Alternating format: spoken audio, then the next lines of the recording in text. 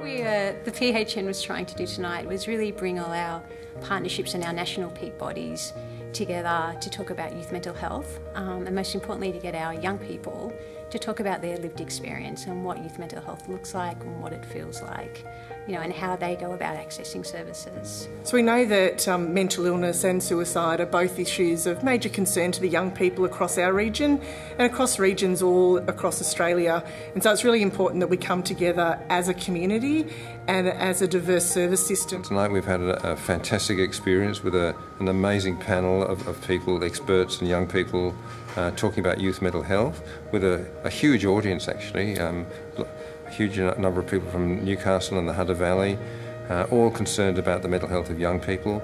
And I suppose we're on a journey here. We, have um, we've, we've realised finally as a, as a society that the mental health needs of young people are a, a really high priority, and we've started to build approaches and systems of care that really starting to uh, be trusted by them and, and uh, delivering results. And uh, we've got to build on, on that, those foundations now to, to make sure that all young people um, get the care that they need. Tonight was an amazing outcome. There are so many people. I got to meet a lot of people.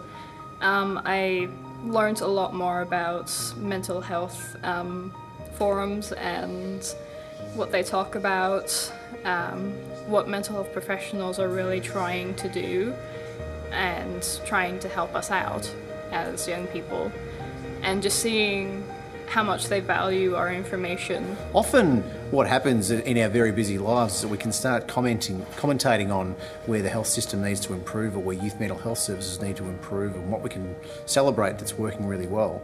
Um, but actually to hear the voices of young people and the experiences, it actually thinks, okay, there's still more to be done, as we know, um, but by, by, hearing the stories and experiences, that's what makes it um, you know, all the worthwhile for these events. One of the main things that I think is really important for young people and their families to recognise is that uh, self-care doesn't have to be something new, it doesn't have to be something that's brought in.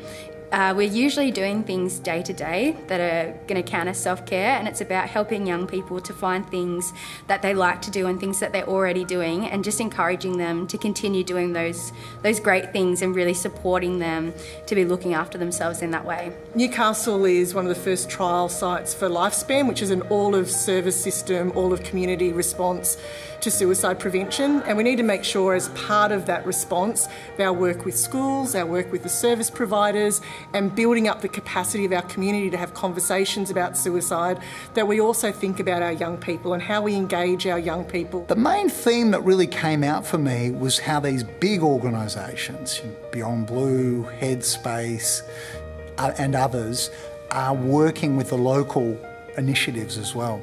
So we could see, for example, in the area of schools, that there was some fantastic local projects. Similarly, in the area of services, we heard about some of the local headspace services, and again, Beyond Blue is really proud to support some of the NewAccess services which supplement that. One thing we know is that it actually can be really difficult for somebody to ask for help, and so what we really want to create across our communities are people who offer help to others. With the support of the um, PHN, we can give free training to our community, QPR online. It's going to take you less than an hour and it's free.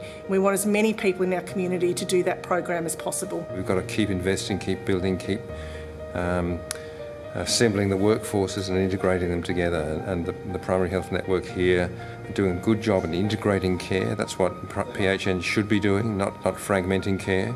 And so we've got to build on these foundations. M mental health isn't a terrible thing. It doesn't need to be um, and that there are services out there who really care about you and what you're going through.